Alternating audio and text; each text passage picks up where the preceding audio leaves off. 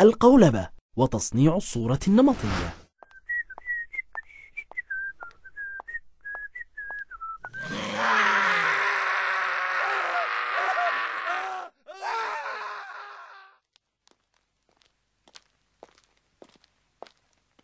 قد يتعرض الإنسان لموقف ما في حياته فيصدر بسببه حكما عاما تجاه ما يتعلق بذلك الموقف وهذا ما يسمى التعميم. ويحدث التعميم بشكل لا إرادي خاصة وأن عقولنا محدودة. أما حوادث العالم فكثيرة وغير محدودة وبالتالي يصعب على عقولنا أن تستوعبها جميعا لنقص المعرفة والمعلومات. ولذا قد يلجأ الإنسان لإصدار الأحكام العامة على تلك الأحداث.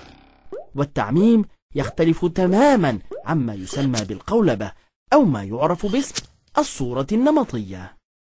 إن مفهوم الصورة النمطية ستيريوتايب مفهوم مستعار من عالم الطباعة ويعني الصفيحة التي تستخدم لإنتاج نسخ مطابقة للأصل. تم استخدام هذا المصطلح ليعبر عن ميل الإنسان لاختزال المعلومات وأن يضع الناس والأحداث في قوالب عامة جامدة أو أن يصدر عليهم حكما متعجلا غير مدروس. فالقولبة استريوتايب هي أن يتعمد الإعلام تشويه الحقائق حول شخص ما أو فئة معينة أو شعب بأكمله ويرسخ في أذهان الناس صورة نمطية مشوهة حول هؤلاء بخطة محكمة مرسومة بدقة. وتزداد خطورة القولبة والتنميط في أيامنا لأن وسائل الإعلام أصبحت هي المصدر الرئيس لكل أفكارنا وتصوراتنا. عن الدول والشعوب والثقافات والديانات وغيرها. كيف تحدث القولبة؟ يتم إنتاج القولبة أو الصورة النمطية والتي هي عدوان معنوي متعمد ومخطط له. يتم بالطريقة الآتية. تبدأ بإلصاق وتعميم صفات سيئة منفرة سلبية ضد الفئة المستهدفة. ثم تقوم وسائل الإعلام بتضخيم تلك الصفات وتبالغ فيها. وتكررها وتبرزها حتى تترسخ في الأذهان وتتلاشى أي جوانب إيجابية أخرى في صورة المستهدف.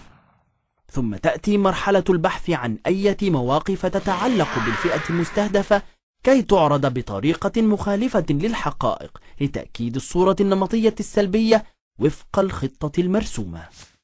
وبمرور الوقت تترسخ الصورة النمطية السلبية وتصبح كالحقيقة في عقول الناس خاصة مع تنوع أساليب عرضها باستخدام وسائل الإعلام المقروءة والمسموعة والمرئية وربما بالأفلام السينمائية أيضا. وإذا ما نجحت عملية القولبة وتم تصنيع الصورة النمطية السلبية فإن الضحية يجد من الآخرين مشاعر الكراهية أو الاحتقار وأحيانا يخافون منه. وفي أحيان أخرى يصل الأمر إلى الرغبة في التخلص منه مما يجعله أحيانا معرضا للخطر. يا لها من عملية عدوانية بشعة. ينسج الإعلام الخبيث خيوطها بدقة وصمت ومهارة. وعندما تم إدراك خطورتها وضعت لها القوانين الأخلاقية الإعلامية حيث نصت عشرات المواثيق الإعلامية على عدم التصوير النمطي لأي اتجاه فكري أو سياسي أو جماعة عرقية أو دينية. ولكن على الرغم من تلك القوانين والقيود تظل القولبة وتصنيع الصورة النمطية السلبية من أخطر ما تقوم به وسائل الإعلام الجائرة.